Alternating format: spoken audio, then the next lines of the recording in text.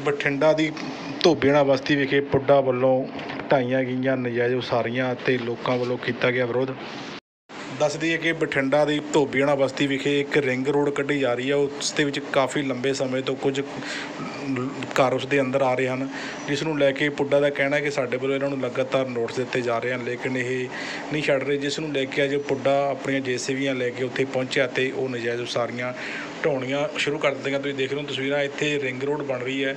Ring road ਬਣੀ ਹੋਈ ਹੈ, ਕੁਝ ਜਗ੍ਹਾ ਤੇ ਰਹਿ ਰਹੀ ਹੈ, ਲੇਕਿਨ ਇਸ ਇਸ ਦੇ ਵਿੱਚ ਕੁਝ ਇਹ ਨਜਾਇਜ਼ ਉਸਾਰੀਆਂ ਸਨ, ਜਿਸ ਨੂੰ ਲੈ ਕੇ ਪੁੱਡਾ ਨੇ ਇਹਨਾਂ ਨੂੰ ਨੋਟਿਸ ਦੇਣ ਤੋਂ ਬਾਅਦ ਅੱਜ ਇਹ ਉਸਾਰੀਆਂ ਢਾਹ ਦਿੱਤੀਆਂ ਗਈਆਂ। ਪਰ ਲੋਕਾਂ ਦਾ ਕਹਿਣਾ ਹੈ ਕਿ ਸਾਨੂੰ ਕਿਤੇ ਜਗ੍ਹਾ ਦਿੱਤੀ ਜਾਵੇ, ਸਾਨੂੰ ਕਿਤੇ ਬੈਠਣ ਨੂੰ ਜਗ੍ਹਾ ਦਿੱਤੀ ਜਾਵੇ ਜਾਂ ਰਹਿਣ ਨੂੰ ਜਗ੍ਹਾ ਦਿੱਤੀ ਜਾਵੇ, ਫਿਰ ਇਹ ਉਸਾਰੀਆਂ ਢਾਈਆਂ ਜਾਣ।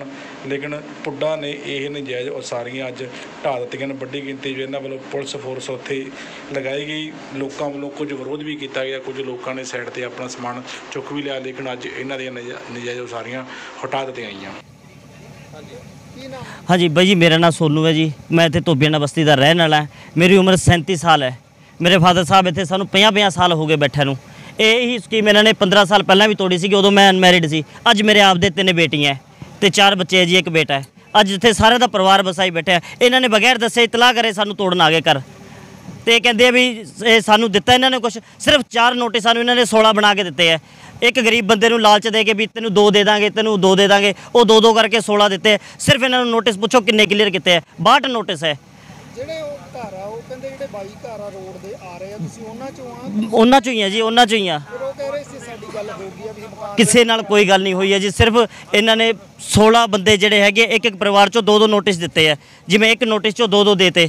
ਉਹਨਾਂ ਨੂੰ ਕਰਕੇ ਇਹਨਾਂ ਨੇ 16 ਦੀ ਗਿਣਤੀ ਪੂਰੀ ਕੀਤੀ ਹੈ ਬਾਕੀ ਕਿਸੇ ਨੂੰ ਕੁਝ ਨਹੀਂ ਦਿੱਤਾ। ਇਹ ਸਭ ਇਹਨਾਂ ਦੀ ਬਣਾਵਟੀਆਂ ਗੱਲਾਂ ਜੀ ਜਿਹੜੇ ਮਕਾਨ ਉਹ ਦੇ ਰਹੇ ਆ ਜਾਂ ਦੇਣਾ ਚਾਹੁੰਦੇ ਆ? ਕੀ ਤੁਸੀਂ ਲੈਣਾ ਚਾਹੁੰਦੇ ਸਰ? ਇੱਕ ਕਮਰਾ ਉਹਦੇ 'ਚ 25 ਗਜ਼ ਦਾ ਹੈ ਉਹ ਦੇਖੋ ਮਾਹੌਲ ਕਿੱਦਾਂ ਦਾ ਹੈ।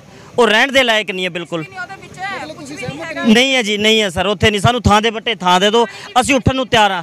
ਸਾਨੂੰ ਦੇਖ ਕੇ ਪੈਸਾ ਦੇ ਦਿਓ ਜਿੰਨਾ ਸਾਡਾ ਲੱਗਿਆ ਹੋਇਆ ਨਾ ਲੈਟਰਿੰਗ ਬਾਥ ਨੂੰ ਖਾਲੀ ਕਮਰਾ ਹੀ ਹੈ। ਸਾਨੂੰ 50 ਗਜ਼ ਹੀ ਦੇ ਦੇ। ਸਾਨੂੰ ਬਣੇ ਬਣਾਏ ਦੀ ਲੋੜ ਨਹੀਂ ਅਸੀਂ ਆਪ ਦੇ ਬਣਾ ਕੇ ਆਪ ਬਹਿ ਜਾਾਂਗੇ। ਉਹ ਮਾਹੌਲ ਤਾਂ ਦੇਖੋ ਜੀ ਪੂਰਾ ਦਿਨ ਉੱਥੇ ਨਸ਼ਾ ਵਿਕਦਾ ਸਾਡੇ ਬੱਚੇ ਔਲਾਦ ਹੀ ਧੰਨ ਹੈ ਸਾਡੇ ਕੋਲੇ। ਜਿਹੜੇ ਮਕਾਨ ਖਾਲੀ ਕਰਾ ਰਹੇ ਆ? ਕਿੰਨੇ ਆ ਮਕਾਨ ਇਹ? ਇਹ ਸਰ 62 ਘਰ ਹੈ ਜੀ। ਆਂਦੇ। ਪੂਰੇ ਇੱਥੋਂ ਤੋਂ ਲੈ ਕੇ ਅੱਗੇ ਬਹੁਤ ਕਰ ਹੈ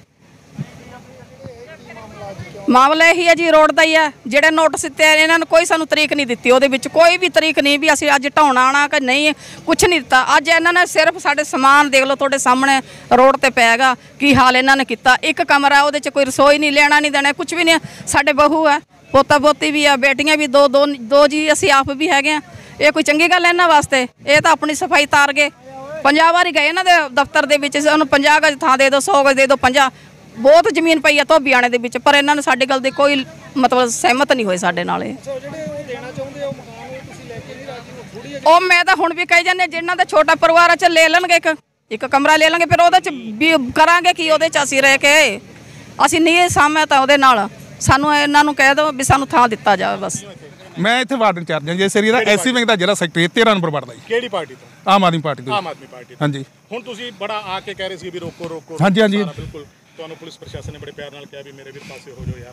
ਪਰ ਚਲੋ ਗੱਲ ਇੱਥੇ ਆ ਗਈ। ਗੁੱਸਾ ਇਸ ਗੱਲ ਦਾ ਕਿ ਸਾਡੇ ਲੋਕ ਨੇਗੇ। ਅਸੀਂ ਸਾਨੂੰ ਪਾਰਟੀ ਆਪਦੀ ਸਾਈਡ ਸਾਡਾ ਮਹੱਲਾ ਆਪਦਾ। ਨਹੀਂ ਹੁਣ ਆਪਾਂ ਪਾਰਟੀ ਵੱਲੋਂ ਆਏ ਕਿ ਮੱਲੇ ਵੱਲੋਂ ਆਏ? ਅਸੀਂ ਪਹਿਲਾਂ ਮਹੱਲੇ ਵੱਲੋਂ ਹੈ ਪਾਰਟੀ ਸਾਡੇ ਬਾਅਦ ਚ। ਚਲੋ ਉਹ ਵੀ ਗੱਲ ਕਲੀਅਰ ਹੋ ਗਈ। ਪਾਰਟੀ ਸਾਡੀ ਬਾਅਦ ਚ ਹੈ। ਪਹਿਲਾਂ ਅਸੀਂ ਮਹੱਲੇ ਨਾਲ ਖੜੇ ਚਾਹੁੰਦੇ? ਅਸੀਂ ਤਾਂ ਇਹ ਚਾਹੁੰਦੇ ਹਾਂ ਵੀ ਜੇ ਕਮ ਸੇ ਕਮ ਸਾਨੂੰ ਤਾਂ ਪਤਾ ਹੋਵੇ ਨਾ ਜਦੋਂ ਮਸ਼ੀਨ ਚੱਲਦੀ ਹੈਗੀ। ਸਾਨੂੰ ਵੀ ਨਹੀਂ ਕਨਫਰਮ ਨਹੀਂ ਉਸ ਚੀਜ਼ ਦਾ। ਨਹੀਂ ਗੁੱਸਾ ਇਸ ਗੱਲ ਦਾ ਵੀ ਸਾਨੂੰ ਨਹੀਂ ਪਤਾ ਕਿ ਹਾਂ ਬਿਲਕੁਲ ਬਿਲਕੁਲ ਬਿਲਕੁਲ। ਨਹੀਂ ਸਾਨੂੰ ਵੀ ਨਹੀਂ ਪਤਾ ਕਿ ਸਾਨੂੰ ਸਾਰੇ ਗੱਲ ਤੇ ਗੁੱਸਾ ਨਹੀਂ ਸਾਡੇ ਨਾਲ ਬਹਿ ਕੇ ਗੱਲ ਕਰੋ। ਅਸੀਂ ਗੱਲ ਕਰੀ ਜੰਨੇ ਕਿ ਇੱਥੋਂ ਮਹੱਲੇ ਨਾਲ। ਮੇਰੀ ਮੇਰੀ ਬੇਨਤੀ ਸੁਣੋ। ਆਪਣੇ ਇੱਧਰ ਅਲਾਟਮੈਂਟ ਕਰਾਈ ਆ 13 ਕੁਆਟਰ ਉੱਥੇ ਅਲਾਟਮੈਂਟ ਕਰਾ ਲਈ। ਬਹਿ ਕੇ ਡਿਸਕਸ ਹੋ ਜਾਏ ਸਾਰੀ ਗੱਲ ਬਹਿ ਕੇ ਅਸੀਂ ਇਹ ਚਾਹੁੰਦੇ ਸੀ ਵੀ ਇੱਥੇ ਕੋਈ ਸਾਡੇ ਕੋਲੇ ਆ ਕੇ ਕੋਈ ਪ੍ਰਸ਼ਾਸਨ ਸਾਨੂੰ ਹੱਬਦਾ ਬਣਾ ਕਰੇ। ਅਸੀਂ ਆਪਦੇ ਲਈ ਵੀ ਵਿਸ਼ਵਾਸ ਤੇ ਖਾਲੀ ਕਰਾ ਕੇ ਦੇਵਾਂਗੇ। ਅਸੀਂ ਨਹੀਂ ਚਾਹੁੰਦੇ ਵੀ ਦੂਜੀਆਂ ਸਰਕਾਰਾਂ ਲਈ ਵੀ ਇੱਥੇ ਧੂਕੜੀਸ ਕਰੋ ਇੱਥੇ ਬੰਦਿਆਂ ਨਾਲ। ਉਹ ਨਹੀਂ ਅਸੀਂ ਹੁਣ ਦੇਣਾ।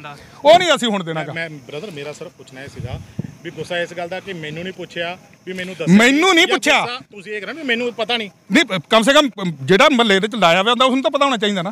ਨਹੀਂ ਉਹ ਤਾਂ ਸਰਕਾਰ ਵੱਲੋਂ ਥੋੜਾ ਤੁਹਾਨੂੰ ਲਾਇਆ ਤੁਹਾਨੂੰ ਕੌਣ? ਪਾਰਟੀ ਵੱਲੋਂ ਲਾਇਆ। ਤੇ ਪਾਰਟੀ ਵੀ ਪੁੱਛੇ ਸਰਕਾਰ ਪੁੱਛ ਸਕਦੀ ਜਦੋਂ ਇੱਥੇ ਬੈਠੇ ਮੈਂ ਮਹੀਨਾ ਹੋ ਗਿਆ ਇਸ ਕੰਮ 'ਚ ਤੁਰੇ ਫਿਰਦੇ ਨੂੰ। ਹਾਂ ਹੁਣ ਇੱਥੇ ਇਸ ਗੱਲ ਤੇ ਆਈਏ ਵੀ ਮੇਰੇ ਵੀਰ ਹੁਣ ਤੁਸੀਂ ਕੀ ਚਾਹੁੰਦੇ ਸੀਗੇ ਵੀ ਜਿਹੜੇ ਅਸੀਂ ਆਪ ਹਟਵਾਵਾਂਗੇ? ਅਸੀਂ ਬਹਿ ਕੇ ਗੱਲ ਕਰਾਂਗੇ ਨਾ ਅਸੀਂ ਬਹਿ ਕੇ ਗੱਲ ਕਰਾਂਗੇ ਤੜਵਾਵਾਂਗੇ ਨਹੀਂਗੇ ਅਸੀਂ ਉਹ ਬਣਦਾ ਮੁਆਵਜ਼ਾ ਬਣਦਾ ਜੋ ਵੀ ਹੋਊਗਾ ਸਰਕਾਰ ਕਰਾਊਗੀ ਉਹ ਕਰਾ ਕੇ ਦੇਵਾਂਗੇ। ਜੀ ਜਿਹੜੇ ਹੁਣ ਅਲਾਟਮੈਂਟ ਹੋਈ ਹੈ ਉਹਨਾਂ ਬਾਰੇ ਵੀ ਦੱਸ ਦਿਓ ਜਿਹੜੇ ਘਰਾਂ ਨੂੰ ਅਲਾਟ ਕੀਤਾ ਗਿਆ। ਹਾਂ 13 ਘਰਾਂ ਨੂੰ ਲੋਟ ਹੋਇਆ ਵਾ ਇੱਥੇ? ਹਾਂਜੀ।